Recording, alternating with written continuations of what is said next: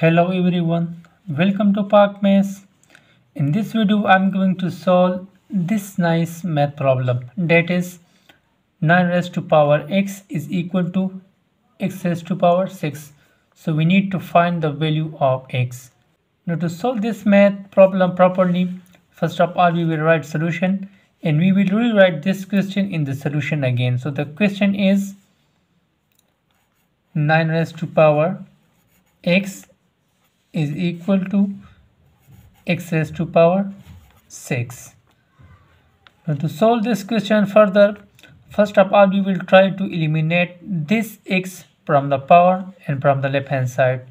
So to eliminate this x, we will multiply 1 over x in the power on both sides.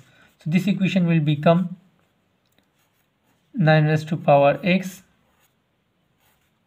taking 1 over x in the power is equal to x raised to power 6 and here is also taking 1 over x in the power.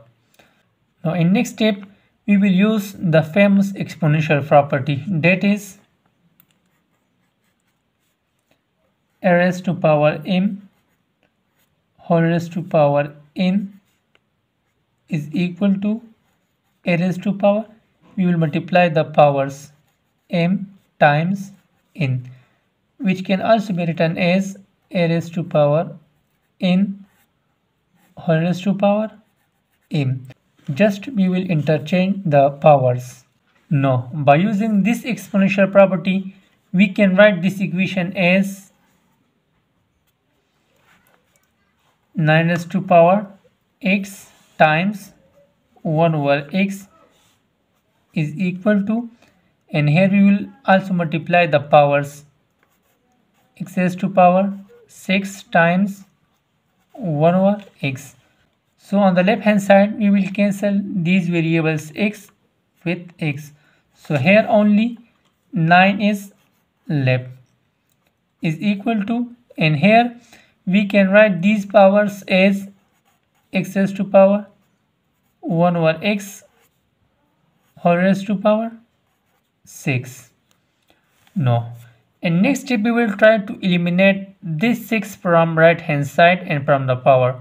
So to eliminate this 6 we will multiply 1 over 6 in the power on both sides. So this equation will become 9 raised to power 1 over 6 is equal to x raised to power 1 over x whole raised to power 6 times 1 over 6 so here this 6 and this 6 will be cancelled with each other. So the power will become 1 and on the left hand side in next step we can write this 9 as 3 raised to power 2 whole raised to power 1 over 6 is equal to and here x x raised to power 1 over x is left. No in next step here we will use again the same above exponential property and we will multiply the powers with each other. So it will become 3 raised to power 2 times 1 over 6 is equal to x raised to power 1 over x. So here we will simplify the powers 2 times 1 is 2 and 2 times 3 is 6. So this will become 3 raised to power 1 over 3 is equal to x raised to power 1 over x. Now here we will use this math property when a raised to power a is equal to b raised to power b. So this implies a must be equal to b.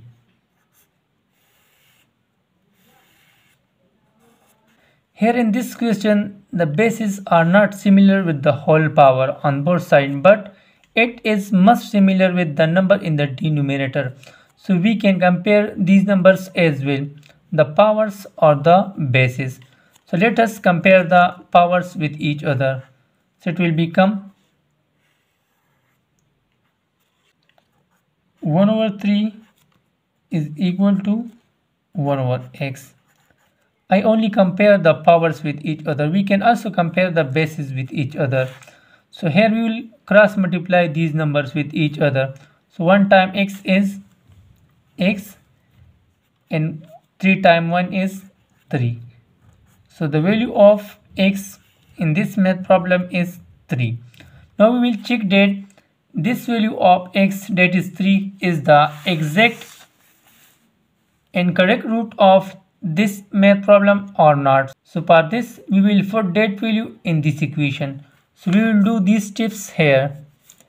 We will write the equation again here 9 raised to power x is equal to x raised to power 6 and here we will replace x with 3 so it will become 9 raised to power 3 is equal to 3 raised to power 6 now 9 raised to power 3 is equal to 9 times 9 is 81 times 9 and we can write 3 raised to power 6 as 3 raised to power 3 times 3 raised to power 3 next 9 times 1 is 9 and 9 times 8 is 72 so it will become 729 is equal to 3 raised to power 3 is equal to 27 and same 3 raised to power 3 is equal to 27 and by multiplying 27 and with 27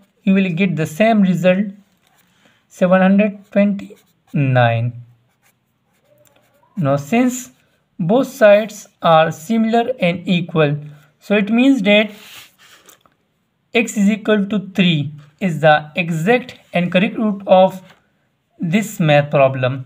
And in last don't forget to subscribe our youtube channel for more such videos.